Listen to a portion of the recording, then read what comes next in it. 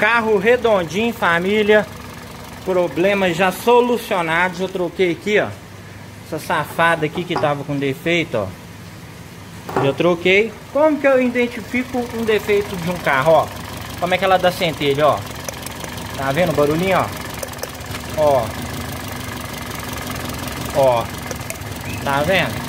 Então, é muito fácil, é muito simples de você tá resolvendo o problema e sabendo qual que tá com defeito, tá? Com o carro ligado, galera. Então já deixa o like, eu estou aqui para ajudar vocês aqui, ó. NKG, muito boa essa marca. Pode colocar sem medo. Tamo junto, família. Fala que é nós, já deixa o like. Fortalece demais o canal. Valeu, família! E agora eu vou estar tá mostrando vocês também como vocês apagarem também lá dentro, lá. É aquela luzinha, né, que é chata demais, que é do Partido da Fria aqui. Então já se inscreva no canal que eu quero trazer vários conteúdos legais para vocês. Aí ó, o problema era na bobina, o carro tava bebendo mais, tava falhando e agora vai ficar zero bala, família. Tamo junto. Valeu! Então, galera, tem esse botão aqui, ó. Aqui, ó. Você vai apertar e segurar ele e virar a chave, galera. Vai começar a piscar lá, ó. Tá vendo que tá piscando já? Aí vai aparecer ali, ó. On, off, tá? Pronto, desliguei, desativei ele.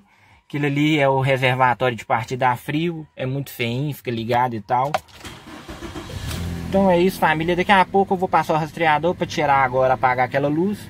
Tudo normalizadinho, tá vendo? Onde que tem que ficar, ó? Até descendo, não tá? Ele fica paradinho no meio ali certinho, quer ver, ó?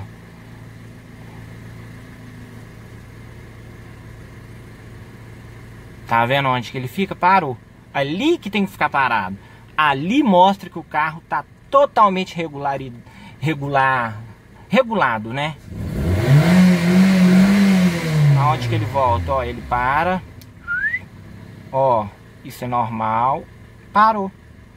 Então, resolvido o problema, galera, já deixa o like que isso fortalece demais o meu canal. Tamo junto.